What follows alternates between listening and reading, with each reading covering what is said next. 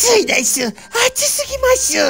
暑すぎてヘドが出ます。ヘドが出すぎてヘドウィグになります。地下鉄なりますの次は地下鉄赤塚でございます。新木場方面ご利用の方は小竹向原で乗り換えでございます。わあまたわけのわからないことを言ってしまった。西鉄バスのネタをご利用ししたくせに。東京メトロのネタをぶち込んでしまった。ドビーは悪い子。ドビーは悪い子。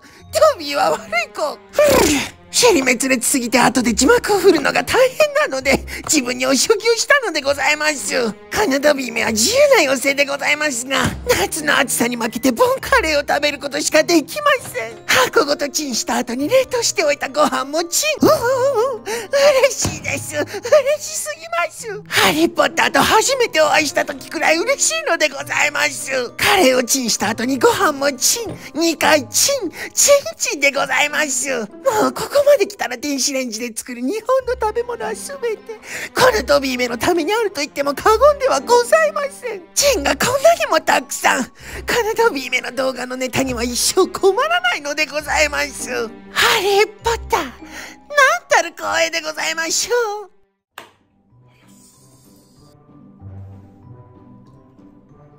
うまいです。うますぎます。これぞ日本人のマグルが求めるカレーライスでございます。何？このドビー目の声は？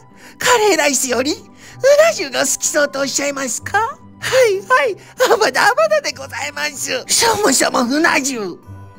間違えた。うな重はめったに食べられるものではないのでございます。ある特定のキャラクターのモノマネが得意だからって。その声優さんが演じられている他のキャラクターも網羅できるほど声の世界はそんなに重くないのでございます。カラオケやバンドサークルで群青日和を歌う女子大生が椎名林檎になれないのと同じでございます。冒涜です。本業の方々に対する冒涜でございます。